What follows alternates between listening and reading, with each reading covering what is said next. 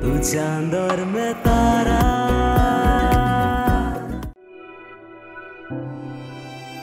sorry